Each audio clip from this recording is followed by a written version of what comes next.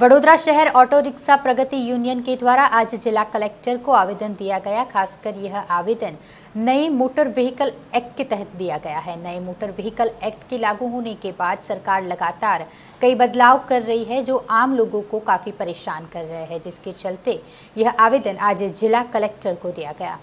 सरकार ने 1 सितंबर से नया मोटर व्हीकल एक्ट लागू किया है और इसके चलते कानून में कई बार बदलाव भी किए गए, जिससे आम लोग बेहद परेशान हैं। खासकर गरीब और जो रोज़ बरोज़ कमाकर अपना गुजरान चलाते हैं, ऐसे रिक्शा चालक इस नए मोटर व्हीकल एक्ट में हो रहे बदलाव से काफ़ी परेशान है।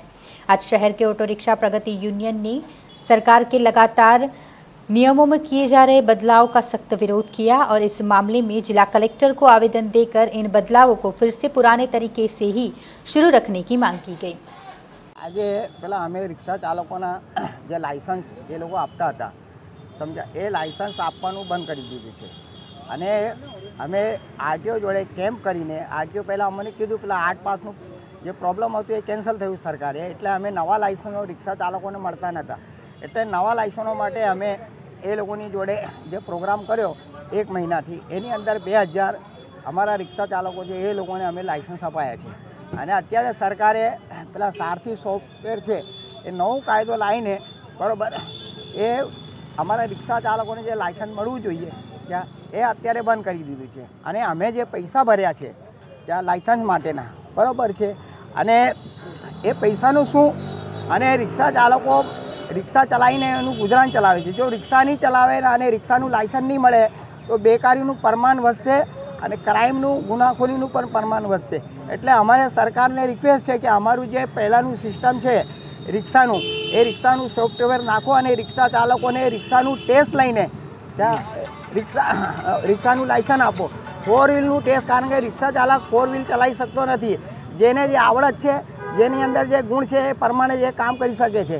તમે ઘોડાને ગધેડા બનાવો ને ગધેડાને ઘોડા બનાવો એ શક્ય નથી. બરાબર છે? એટલે જે સિસ્ટમ છે ચાલી રહ્યું છે સુધારવામાં અમે પણ માંગીએ છીએ કે સુધાર હોવું જોઈએ.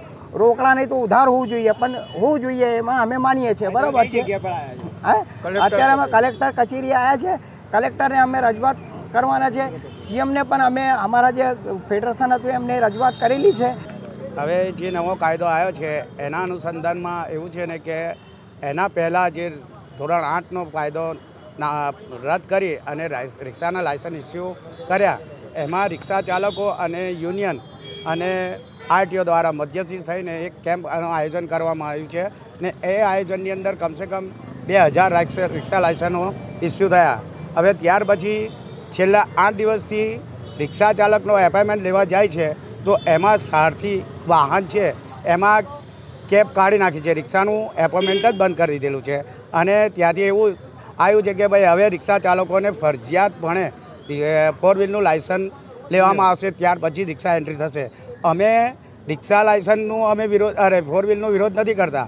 ભલે એ મળે પણ એ ટેસ્ટ જે એણે આપેલો છે જે લાયસન્સ ઇસ્યુ થયેલું છે જે ડ્રાઇવિંગ થ્રી વ્હીલનું કરે છે એને ટેસ્ટ તો રિક્ષા લાય રિક્ષાથી જ આપવામાં આવશે. તમારી માંગણી શું છે? અમારી માંગણી આ જ છે કે જે લાયસન્સનો વિરોધ કરવામાં આવ્યો છે. જે કેબનો સારથીમાંથી કાઢી રાખ્યું છે. એ કેબ થ્રી વ્હીલ પ્રમાણે જ ટેસ્ટ આપશે ને થ્રી વ્હીલ પ્રમાણે જ ચાલશે. આજે ફોર વ્હીલર રિક્ષા ચાલક કઈ રીતે ચલાવી શકે? જે રિક્ષા ચલાવે છે એ ફોર વ્હીલને એને જરૂર નથી.